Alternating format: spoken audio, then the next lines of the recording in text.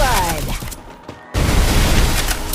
You and me hanging from the willow tree, quietly drifting in the open breeze. First